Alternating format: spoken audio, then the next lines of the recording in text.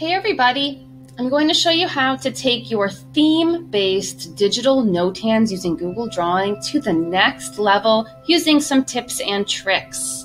So first, let's check out this student example here.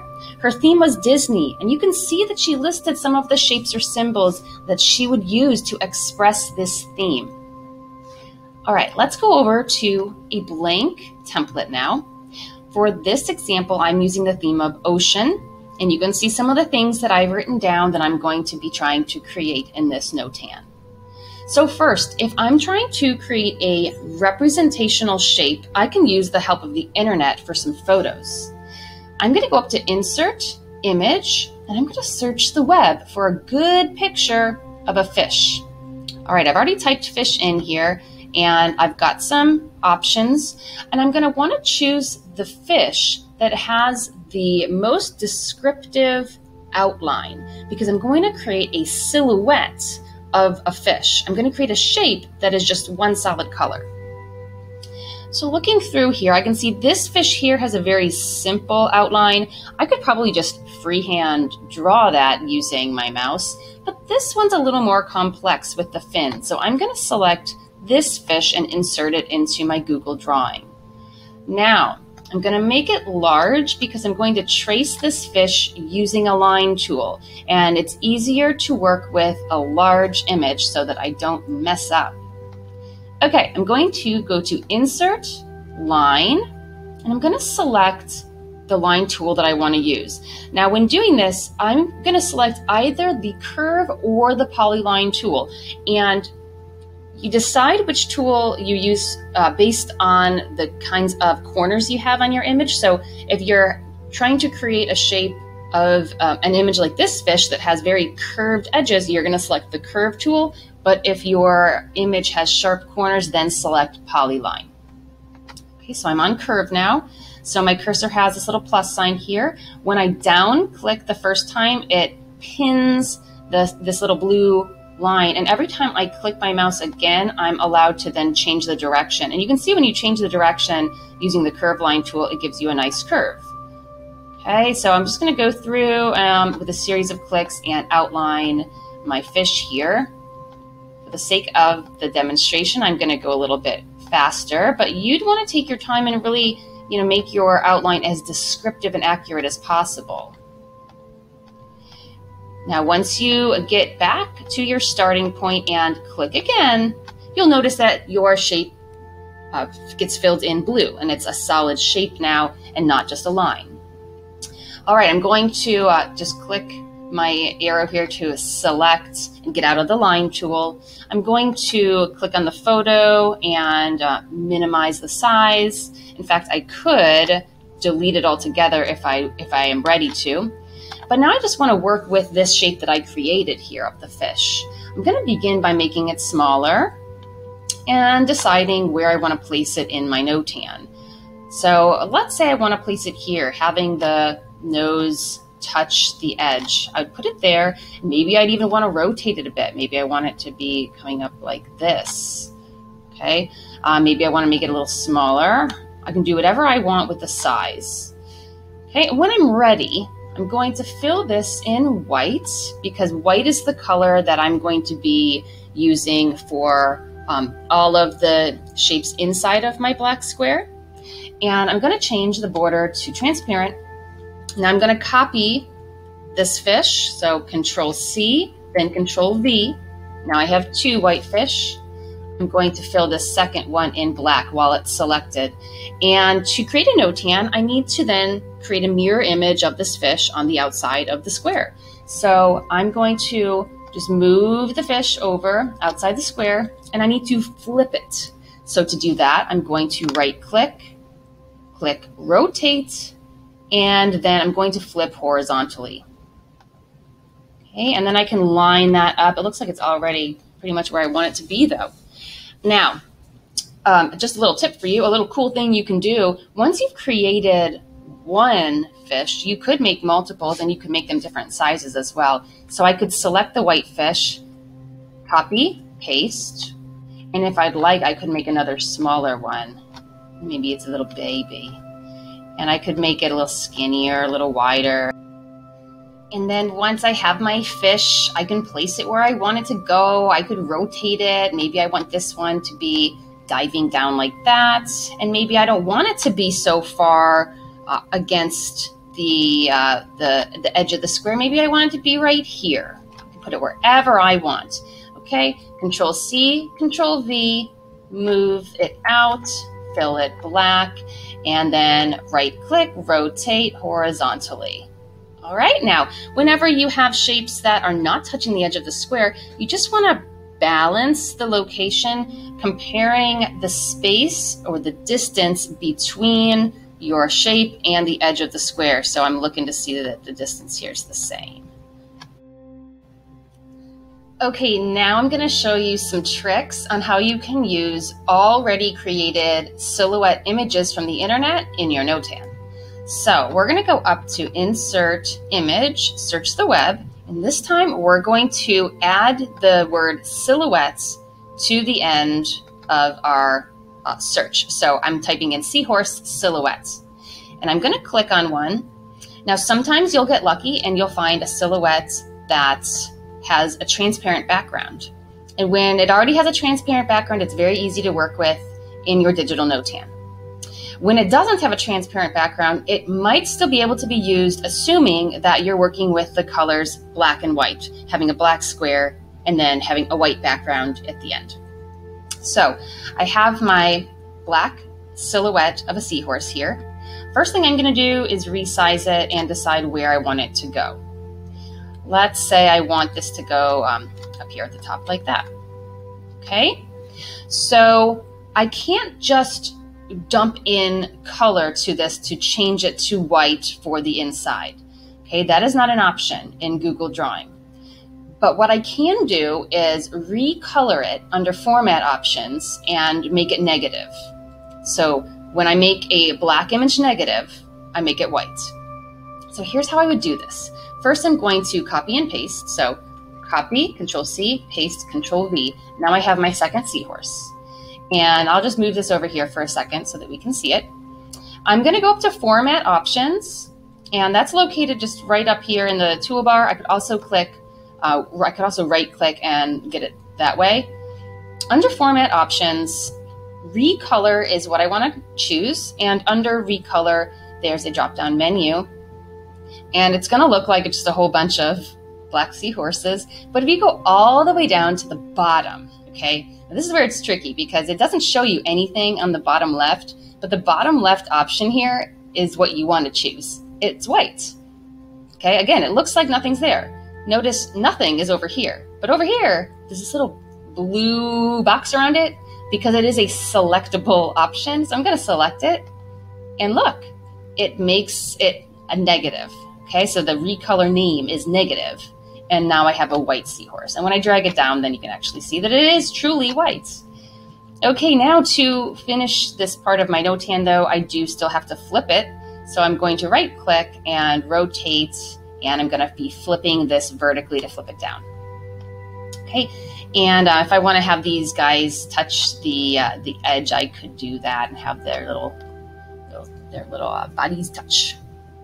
Okay, so now that's how you do it when you get lucky and you find a silhouette with a transparent background, but let's look at what happens when that's not the case. I'm going to go up to Insert Image, search the web, and I'm searching for a seaweed silhouette because I want to do something with seaweed on the bottom of this. And um, I'm going to actually select this one here. And I want you to see how I wouldn't want to use all of this. First of all, this one does not have a transparent background. So just notice um, I'm working with something now that uh, is going to have either a black or white background no matter what I do. And I don't want to use all of this. So I'm just going to be uh, taking pieces or parts from here by cropping it. So to crop, you can double click an image. And if I want to use this top part here, I would just, once it's, once I have these bold black corners, that means I'm ready to crop. I drag up so that the only area then showing is going to be what I want to use, and everything else is going to be translucent. When I click outside of that area, it's then going to lock it in as my new cropped image. So I'm going to drag this down here, and I'm going to line it up with the edge of my square. Let's let's make this actually a little smaller. Let me uh, let me do this. I'm gonna go down a bit, a little bit more, a little bit more. There we go. Okay, so now this guy's all lined up. It's where I want it to go. Okay, I'm going to need to create a negative of this, right? Because I want the seaweed to be the area that's white. In the background, I want to be black. So I'm going to right click, go to Format Options, and I'm going to create that negative recolor. So I'm going to scroll down, down, down, down, far bottom left. There we go. That gives me the negative. I'm going to now copy and flip it and then recolor it back to normal. So copy, paste, we'll recolor this back to normal. So now no recolor and I'm gonna flip this. So I'll pull this down and right click rotate, flip it vertically. And look now I've really extended this square and, and created this double image now of the seaweed. Okay, so that's what you do. That's kind of how you work with it if you don't get lucky and get that transparent background for a silhouette, but you still want to work with that image. Okay, I want to show you one more thing, and that is how you can use a symmetrical picture like this student did here with the Mickey, how you can use a symmetrical picture and crop it so that you have half inside your square and half outside your square. Back in my ocean notan now, I'm going to search for a sun since that's a symmetrical image and that would work really nicely on the edge. So I'm going to click on this one here because I like it. And when it loads, I'm going to have it be placed half on the square, half off the square like so. And I want to I want to make sure it's going to fit. So I'm going to look at the part inside first. In fact, let's go ahead and recolor this. So I'm going to go to Format Options, Recolor to the negative so that I can see what it looks like inside the square. I don't want it overlapping anything else. Okay, and again, I want it about half on, half off. It looks like that's going to work. So I'm now going to crop this. I want to crop it by double clicking, getting the bold, the bold corners there. I'm going to drag this down to the edge. So what I, what I'm wanting to do is to have half of the sun be left inside the square. And now I'm going to actually have to create a copy of it. Control C, Control V, and I'm going to recolor this back to no recolor so it's black and then I'm going to have this one be above it, but I'm going to flip it, of course. So to rotate it, right click, rotate, flip down, which is vertical, and now you can see we have our sun. Okay, so that's what I mean by using something symmetrical and having half be inside, half be outside. Now we can also, uh, we can play with having other shapes that are inside of our notan that aren't actually representational images. So, for example, we could insert some shapes of circles for bubbles. Let's go ahead and do some. We'd have some bubbles around fish, right? So I'm going to fill this white. Let's take out the border. Okay, so if we have a bubble there, uh, maybe we'd even want to copy it and paste another bubble. And let's make this little bubble smaller like that. Okay, now if we want to flip these at the same time, what we can do is click on one bubble, hold down our control key and click on our second bubble. Now both bubbles are selected. Control C, Control V. Now we have our second set of bubbles. Let's recolor those black. Let's move them out and then we'll rotate them while they're both selected. Okay, and of course, if you accidentally you know, forget to, to keep them both selected, you can always grab them again. So hold down the control key and grab them again. And now right click, rotate horizontally, and there you have it. Again, while they're both selected, drag them where you want them to go. this area here has a lot more that needs to be done to it. Let's look at how we can use some other line tools. For example, let's come down and, you know, my picture here is covering this. Let me move this. Let's come down to where it says scribble. I'm to grab the scribble tool and this is going to allow me to actually draw lines. So I'm going to click down and I'm going to draw a line of like a wave. Okay, now I'm going to make that white and I'm going to make this a thicker line like that. And then if I am happy with that line, I can copy and paste it. I can flip it out by flipping it horizontally, moving it out. I clicked the wrong thing. Moving this one outside here and then changing the color. Change the color now to black. Okay, so that's one thing you can do that you might not have thought about is using the scribble tool. Another thing I want to show you is how you can layer shapes on top of each other. So for example, I have the sun up here. What if I wanted to insert a shape, for example, a triangle, and uh, put that triangle, put a triangle inside our sun too. So I'm going to move this up here right on the edge there. Okay, let's take off the border color, change the color to white since this is inside the black. I'm gonna bring this right to the edge there. There we go. Okay, now I'm gonna copy and paste, make my copy black, and I'm going to rotate that down by flipping it vertically. Okay, you see that? I've got a little black square there, and I'm gonna drag it right underneath. So that's called layering your shapes, and that's a, just a really great way to add more to your piece. Another way of layering is to create a copy and then make your copy smaller. So I'm now I'm making a smaller fish. Better make it even smaller yet. And I'm going to make that one black. Okay, and then you can uh, put that inside. So kind of making like another smaller version of something that you have.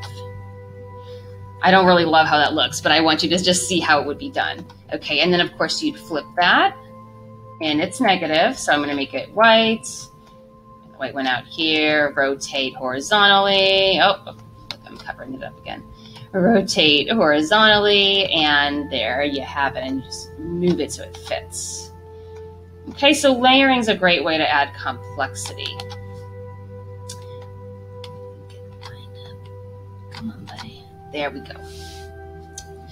All right, well, I hope this video helped give you some ideas of more things that you could do with your digital notans and how to use images already on the internet to help you and to extend your work and kind of take it to the next level using a theme. Again, remember, really wonderful things can be done by people of all ages using this process. And the more you practice, the better you're going to get. So I hope you get to work and make something really cool today. Thanks for watching. Bye.